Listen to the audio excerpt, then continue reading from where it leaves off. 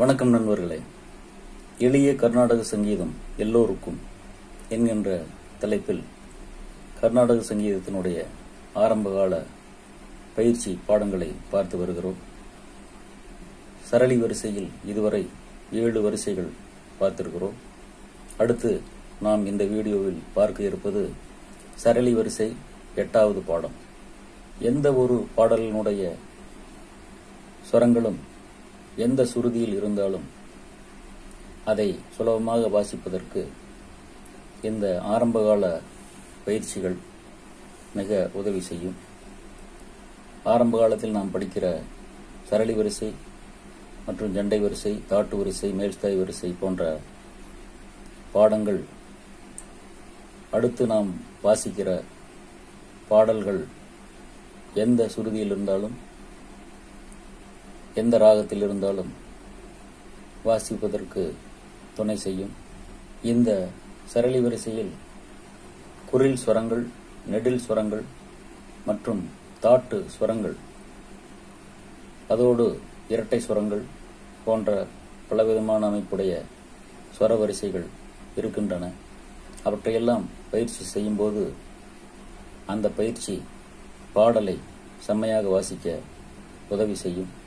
இந்த சரளி வரிசை மற்றும் இதை அடுத்து வருகின்ற அனைத்து ஆரம்ப பாடங்களையும் தினந்தோறும் பயிற்சி செய்து வந்தால் மிக விரைவிலேயே கீபோர்டும் மற்றும் ஹார்மோனியத்தில் வாசிப்பதில் தேர்ச்சி பெற்று விடலாம்.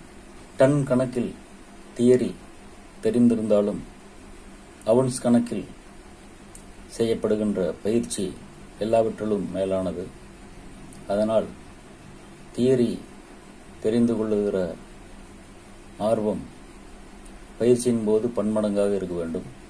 பயிற்சியினால்தான் எந்த ஒரு இசைக்கருவியிலும் ஒருவர் வல்லுநராக முடியும். அதனால் பயிற்சியை விடாமல் செய்யுங்கள். இப்போது பாடத்தை பார்க்கலாம். ஆரம்பகால சரளி வரிசை போன்ற பயிற்சிகளை செய்வதற்கு ஏற்ற ராகம் என்று இந்த பதினைந்தாவது மேலகர்த்தா மாயமாளவ கவுள ராகத்தை தேர்ந்தெடுத்திருக்கிறார்கள். ஆனால் அந்த ராகத்திலேயே பயிற்சிகளை செய்வதோடு நிறுத்திவிடாமல் மீதமுள்ள அனைத்து மேலகர்த்தா ராகங்களிலும் அனைத்து சுருதிகளிலும் வாசித்தால் மிகச்சிறந்த இசைக்கலைஞராக நாம் உருவெடுக்க முடியும். இந்த பதினைந்தாவது மேலகர்த்தாவான மாயம்மாளவ கவுளை ராகம் பனிரெண்டு சுரஸ்தானங்களிலிருந்து எந்தெந்த சுரங்களை எடுத்துக்கொள்கிறது என்பதை பார்க்கலாம். ஒரு கட்டை சுருதிக்கு மாயமாளவு கவலை ராகத்தினுடைய சுரங்கள். சஜ்ஜமம் சுதர்ஷபம் அந்தரகாந்தாரம் சுத்தமதிமம் பஞ்சமம் சுத்த தெய்வம் காக்கலை நிஷாதம் தாரஸ்தாயி சஜ்ஜமம். ச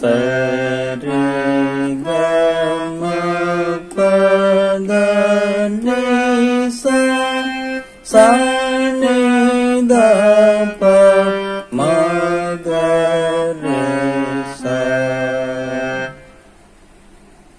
சரளி வரிசையின் எட்டாவது பாடம். சரிகம பமகரி சரிகம பதனிசா சன்னிதப்ப மப்பதனி சன்னிதப்ப மகரிசா என்று இருக்கிறது. சரிகம என்கின்ற முதல் நான்கு சுரங்களை முதல் நான்கு விரல்களில் முறையாக ச ரி க ம என்று வாசித்துவிட்டு பிறகு ப ம க ரி என்று பஞ்சமத்திலிருந்து திரும்பி வர வேண்டும். ப ம க ரி. இப்போது எட்டு சுரங்கள் முடிந்திருக்கின்றன. அடுத்து ஒரு ஆரோகணம் முழுமையாக வாசிக்க வேண்டும். ச ரி க ம ப த இப்போது பதினாறு சுரங்கள் முடிந்திருக்கின்றன.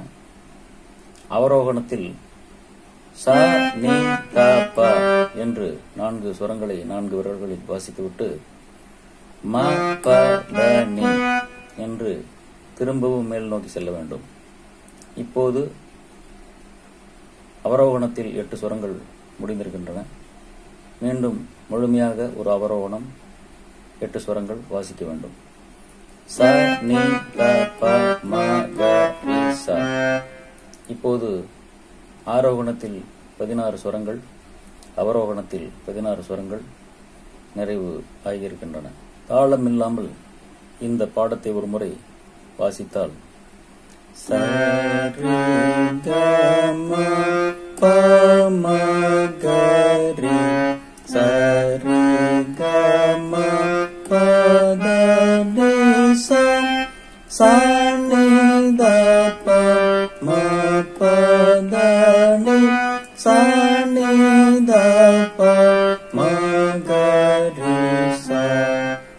என்று வருகிறது.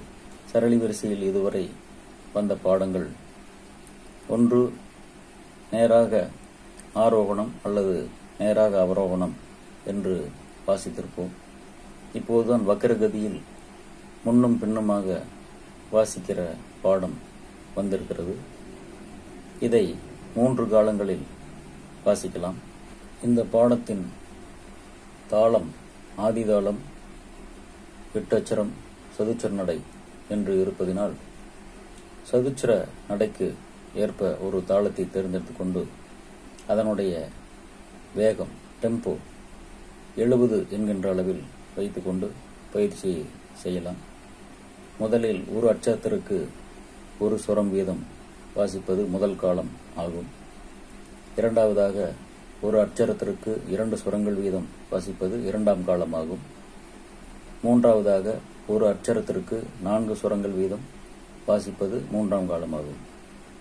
ஆனால் இந்த மூன்று காலங்களிலுமே அந்த தாளத்தின் வேகம் எழுபது என்கின்ற டெம்போ மாறாமல் இருக்க வேண்டும். முதல் காலம் ஒரு அச்சரத்திற்கு ஒரு சுரம் வீதமாக.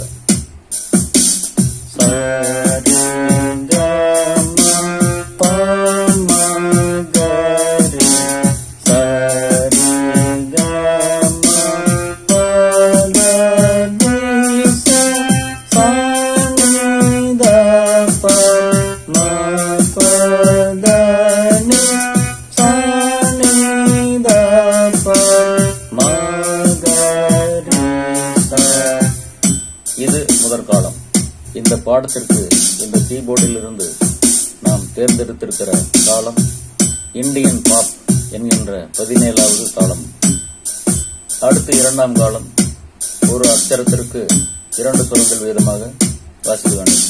சரி கம பம சரி கம பத நி